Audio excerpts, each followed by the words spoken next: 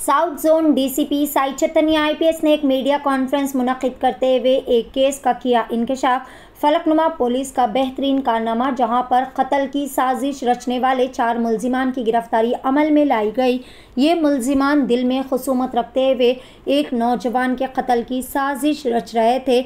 एक ज़राए से मिली मुसदा इतला पर कार्रवाई करते हुए फलकनुमा पुलिस ने चार मुलजिमीन, मीर अशफाक अली उर्फ़ आमिर खान, उम्र सत्ताईस साल मोहम्मद सुबहान खान उर्फ़ सुबहानी उम्र 19 साल, मोहम्मद जमील खान उर्फ़ ख्वाजा, जबकि चौथा मुलजिम जो कि नाबालिग है, इसे भी गिरफ़्तार कर लिया गया।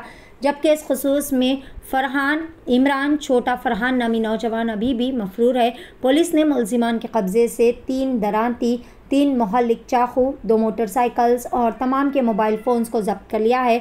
मरकज़ी मुलजिम मीर अशफाक अली उर्फ़ आमिर ख़ान, जो कि फ़ारूक नगर का रहने वाला है और लाड़ बाज़ार में कारोबार किया करता है, जहाँ पर मीर अशफाक अली की नाजिम उर्फ़ ईशान नामी नौजवान से छोटे से मसले पर लड़ाई झगड़ा हो गया था, जिसके बाद आमिर ने नाजिम यानी ईशान को बुरी तरह से मारपीट भी की थी, जिसके बाद मुलजिम मीर अशफाक अली उर्फ़ आमिर इसे शुबा था कि ईशान इसके खिलाफ बस्ती में गैर गलत बातें और झूठी अफवाहें फैलाते हुए इसे बदनाम करते आ रहा है।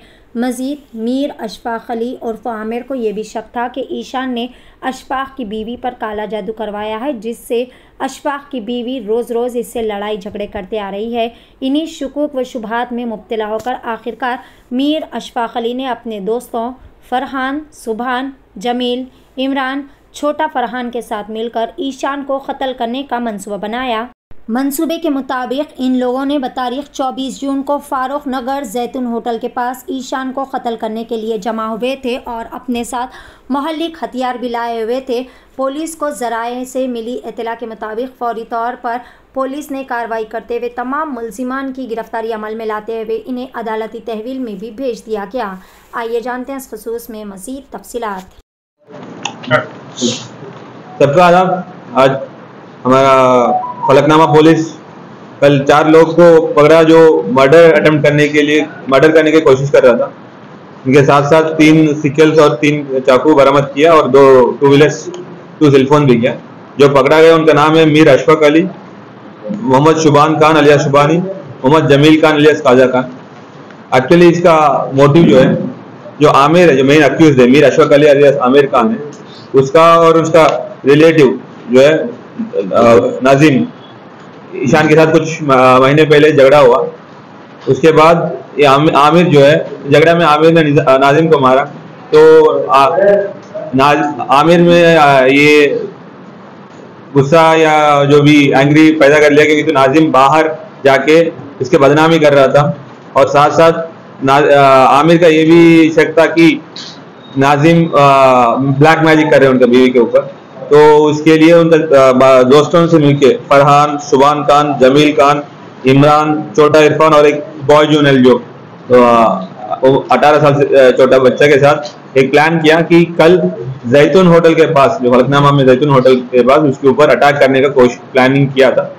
बट जैसे हमारे पास इंफॉर्मेशन आया, हमारे टीम के पास इंफॉर्मेशन आया कि वैसे प्लानिंग चल रहा है वो अटेम्प्ट होने के पहले हम लोग उन लोग को पकड़ पकड़ लिया। और साथ साथ उनसे ये तीन सिकल्स और तीन चाकुएँ बरामद किया। आ, और उनके ऊपर crime number one seventy two by two thousand twenty three under section twenty B criminal conspiracy section one forty nine read with five eleven और आर्म्स एक्ट का ट्वेंटी ट्वेंटी फाइव वन ये आर्म्स एक्ट का section भी लगा है। और आज अभी कोर्ट में प्रोड्यूस करने वाले हैं। ये सारी ऑपरेशन जो है शेख जहांगीर एडिशनल डीसीपी और इंचार्ज फलकनामा डिवीज़न का एसीपी उनके निगरानी पे और इंस्पेक्टर फलकनामा राघवेंद्र और एस आई नागराजू, रवि कुमार और क्राइम कांस्टेबल्स मोहम्मद रियाजुद्दीन और ई एस विनय कुमार और शिवा ने ऑपरेशन सक्सेस करवाया। इन सब, सभी को सीपी साहब की जानब से सभी को सभी को बधाई बात देता हूँ और सभी को, सबको रिवॉर्ड का भी प्रपोजल किया गया ताकि इतना हार्डवर्क करके ये क्राइम को रोका, उनको पुलिस डिपार्टमेंट ज़रूर रेप्रिसिएशन देंगे।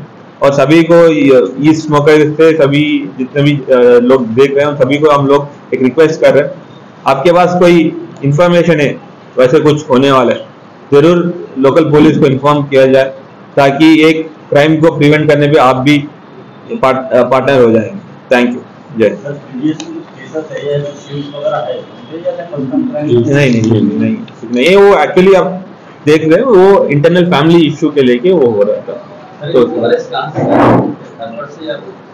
जैसे इंफॉर्मेशन आया हम लोग वहाँ पे ए, जैतून होटल के पास वेट करके तो हमारे पास इंफॉर्मेशन था कि वो आ रहे हैं। अब रेड हैंडेड पकड़ा गया उनके साथ वेपन के साथ पकड़ा गया। के तमाम ये सारी उन्हीं से रिकवरी हुआ। कोई बरामद किए बोले। उन्हीं के हाथ उन्हीं से रिकवरी किया था सारी सर ब्लैकमेलिंग जो कर रहे सर वो इंक्वायरी में कुछ वो फैक्ट नहीं नहीं वो उनका शक था.